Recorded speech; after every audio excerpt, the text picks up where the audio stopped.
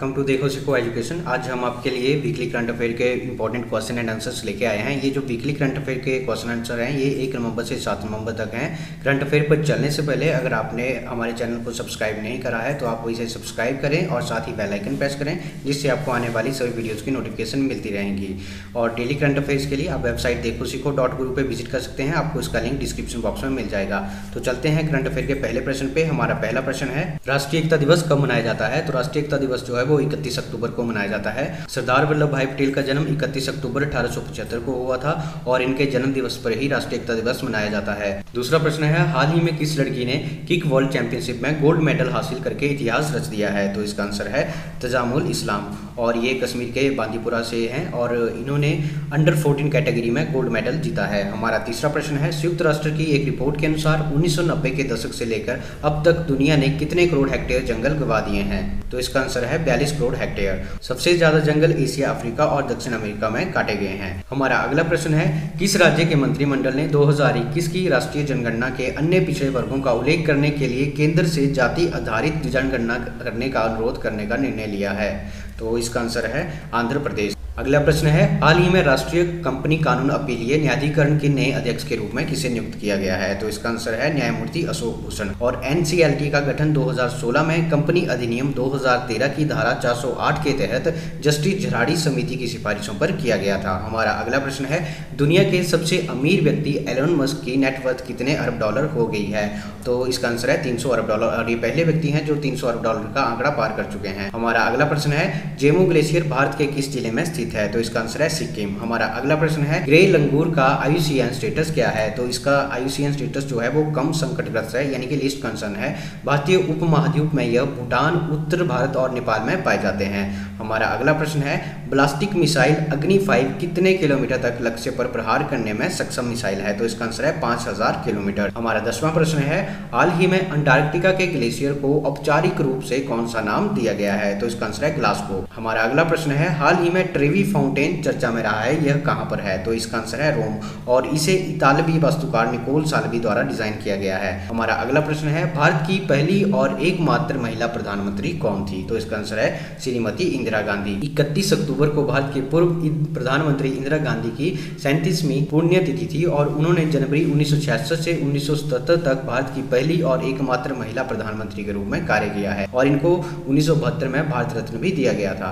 हमारा अगला प्रश्न है, हाल ही में पंजाब पुलिस के डीजीपी ने प्रस्ताव दिया है कि गुरु नानक देव की जयंती को किस दिवस के रूप में घोषित किया जाए? तो इसका आंसर है विश्व पैदल यात्री दिवस। गुरु नानक देव जी ने एकता के संदेश को पूरे विश्व में फैलाने के लिए पंद्रहवीं और सोलहवीं शताब्दी के दौरान दूर दूर तक यात्राएँ की थी। हमारा अगला प्रश्न है, गंगा उत्सव द रिवर फेस्टिवल 2021 के पहले दिन भारत का कौन सा mission Guinness book of world record में शामिल हुआ है? तो इसका आंसर है, राष्ट्रीय स्वच्छ गंगा मिशन। हमारा अगला प्रश्न है, पंजाब सिंधु नदी डॉल्फिन का आयुसीएन स्टेटस क्या है? तो इसका आयुसीएन स्टेटस जो है, वो लुप्त प्राय है, यानी कि इंडेंजर्ड है, और सिंधु डॉल्फिन की आबादी पंजाब के हरिके वन्यजीव अभ्यारण्य के साथ साथ निचली ब्यास नदी में 2007 में खोजी गई थी, और सिंधु नदी डॉल्फिन को 2019 में पंजाब का राज्य जलीय जानवर घोषित किया गया था। हमारा अगला प्रश्न है, किस राज्य सरकार ने राज्य में इलेक्ट्रिक वाहनों पर मोटर वाहन करों और पंजीकरण शुल्क में पूर्ण छूट की घोषणा की है? तो इसका आंसर है ओडिशा। हमारा अगला प्रश्न है, भारत में कितने राज्य और कितने केंद्र शासित प्रदेश एक नवंबर 2021 को स्थापना दिवस मना रहे हैं? तो इसका आंसर है, सात राज्य और दो केंद्र शासित प्रदेश।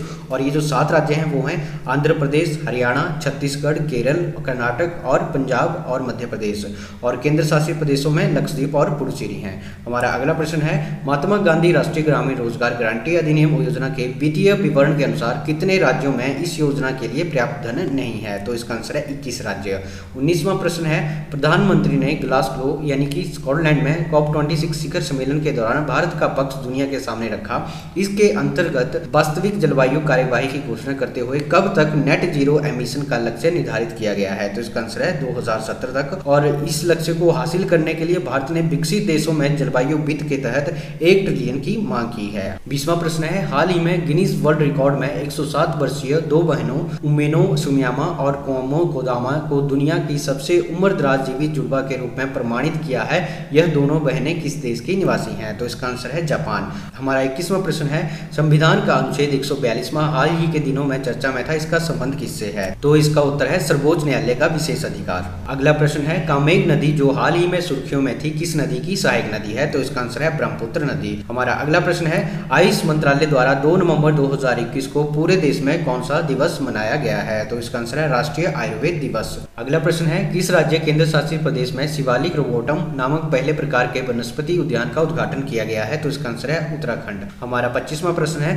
किस उत्तर पूर्वी राज्य ने पैतृक संपत्ति में केवल छोटी बेटी का अधिकार देने की लंबे समय से चल आ रही परंपरा में बदलाव करने के लिए नया कानून बनाने का निर्णय किया है? तो इसका आंसर है मेघालय। छब्बीसवा प्रश्न है, हाल ही में भारत के किस संघ शासित प्रदेशों में कटुनाइकन मलकुरुवन कुरुमन और येरुकला जनजातियों को अनुसूचित जनजाति का दर्जा देने की मांग की है? तो इसका आंसर है पुडुचेरी। अगला प्रश्न है, विश्व में सर्वाधिक दूरी की यात्रा करने वाले प्रवासी पक्षी कौन है? तो इसका आंसर है, अमूर फॉल्कन। हमारा अगला प्रश्न है, इस वर्ष कितने खिलाड़ियों को खेल रत्न और कितने खिलाड़ियों को अर्जुन पुरस्कार से सम्मानित किया जाएगा? तो 12 खिलाड़ियों को खेल रत्न दिया जाएगा और 35 खिलाड़ियों को अर्जुन पुरस्कार दिया जाएगा। उनतीसवा प्रश्न है Q S Asia university ranking दो हज़ार बाईस के दौरान भारत के किस संस्थान ने देश में शीर्ष स्थान हासिल किया है? तो इसका आंसर है, आईआईटी बॉम्बे और इस सूची में सिंगापुर नेशनल यूनिवर्सिटी पहले स्थान पर है। हमारा अगला प्रश्न है, हाल ही में किस राज्य ने दो योजनाएँ जन सेवक और जन संपादन लॉन्च की है तो इसका आंसर है कर्नाटक। हमारा अगला प्रश्न है, हाल ही में चर्चा में रहे मत्स्य 6000 क्या है? तो इसका आंसर है, यह मानव युक्त पनडुब्बी है जो समुद्रयान मिशन का हिस्सा है। हमारा बत्तीसवा प्रश्न है, किस योजना के तहत वर्ष 2021 में लगभग पंद्रह छात्रों ने कोचिंग कक्षाओं के लिए नामांकन किया है? तो इसका आंसर है, जय भीम मुख्यमंत्री प्रतिभा विकास योजना, और यह योजना दिल्ली सरकार द्वारा शुरू की गई है। इससे कुछ निजी केंद्रों पर विभिन्न प्रतियोगी परीक्षाओं के लिए लॉन्च किया गया था। अगला प्रश्न है, प्रधानमंत्री नरेंद्र मोदी ने सौर ऊर्जा की व्यवहार्यता में सुधार के लिए 2 नवंबर 2021 को किसका आह्वान किया है? तो इसका आंसर है, one sun, one world, one grid. हमारा अगला प्रश्न है, न्यूजीलैंड फॉरेस्ट एंड वर्ल्ड में एक स्वतंत्र संरक्षण संगठन ने हाल ही में अपने वार्षिक world of the year award किस पक्षी को दिया है? तो इसका आंसर है, पेका पेका तोरोआ, और ये एक चमगादड़ है। हमारा अगला प्रश्न है, भारतीय रिज़र्व बैंक ने किस बैंक को सरकारी कारोबार करने के लिए आरबीआई की एजेंसी बैंक के रूप में नियुक्त किया है तो इसका आंसर है बंधन बैंक। हमारा अगला प्रश्न है, दिवाली का त्यौहार किस दिन मनाया जाता है? तो इसका आंसर है अमावस्या। सैंतीसवा प्रश्न है, केंद्र सरकार ने सभी केंद्रीय सशस्त्र पुलिस बलों के कर्मियों को किस योजना का लाभ दिया है? तो इसका आंसर है आयुष्मान सीएपीएफ स्वास्थ्य योजना, और इसे केंद्रीय गृह मंत्री अमित शाह द्वारा लॉन्च किया गया है। अगला प्रश्न है, हाल ही में दक्षिण अफ्रीका के किस लेखक ने साल 2021 के लिए बुकर पुरस्कार जीत लिया है? तो इसका आंसर है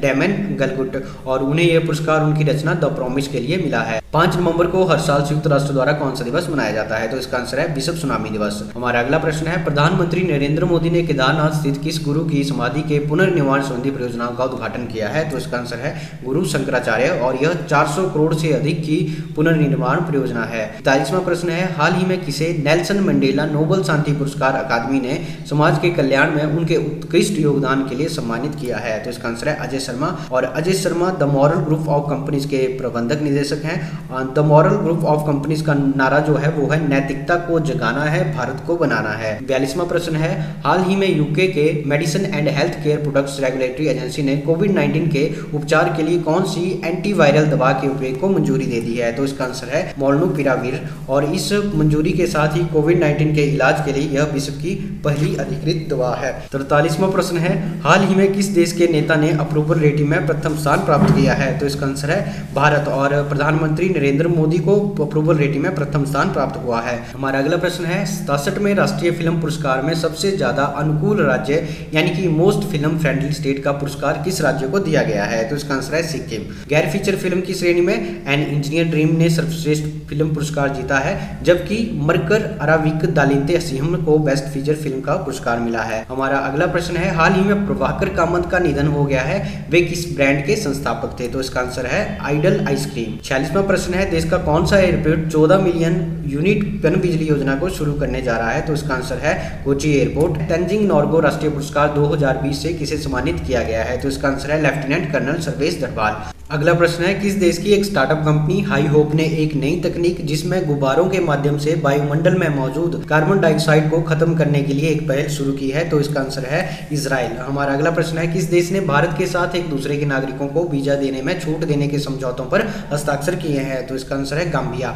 हमारा पचासवा प्रश्न है, किसे I S S F presidents cup की दस मीटर एयर पिस्टल मिक्स स्पर्धा में स्वर्ण पदक जीता है? तो इसका आंसर है मनु भाकर और जावेद फरोगी. तो दोस्तों, ये थे हमारे आज के करंट अफेयर। जानकारी के लिए आप वेबसाइट देखो सीको डॉट गुरु पे विज़िट कर सकते हैं। आपको इसका लिंक डिस्क्रिप्शन बॉक्स में मिल जाएगा। धन्यवाद।